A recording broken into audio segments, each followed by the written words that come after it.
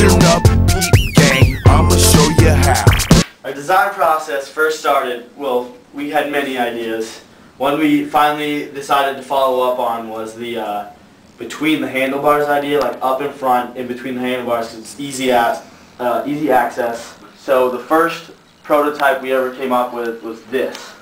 So it would fit right up here, flat, on the handlebars. So we came up with an idea of using like aluminum or steel because Aaron has a black and silver bike. That's what we work with. So we use steel. We're just gonna have a little steel frame, steel like wire, right in between here. That the cup just sets in there. And uh, this is all gonna be covered up with Under Armour. We're gonna sew Under Armour around it. And then We just welded it together and uh, you guys will see our cup holder. It's pretty kick-ass.